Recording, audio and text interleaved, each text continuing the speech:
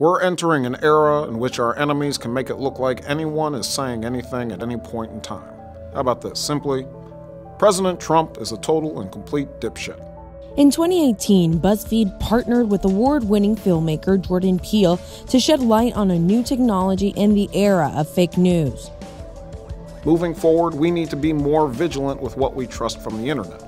It's called a deepfake, and this same video was used by Professor Cristian Vaccari and his colleague Andrew Chadwick, both from Loughborough University in England, for research on how the technology threatens democracy. Uh, this was the time when, um, while people were still taking stock of what happened in 2016, uh, the technology for producing deepfakes uh, became available uh, basically for free um, and basically to anyone. The software, which is easily accessible online, gathers information on facial movements and sounds and then trains itself to predict them while mapping them onto another video, just like Jordan Peele's on Obama, and this one with Jon Snow apologizing for the final season of Game of Thrones. We take the blame.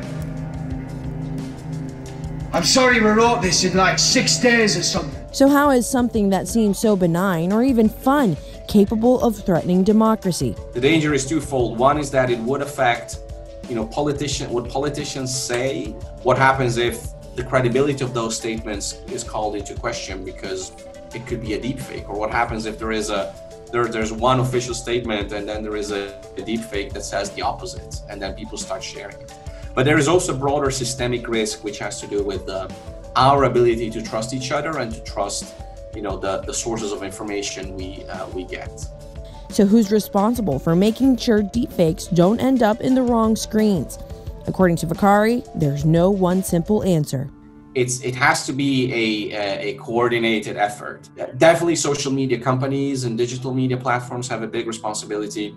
We need to demand more accountability and responsibility by uh, politicians. The news media have a responsibility uh, in raising awareness, but also in not doing that in a way that, again, propagates this idea that, you know, we live in a post truth society and you cannot trust anyone.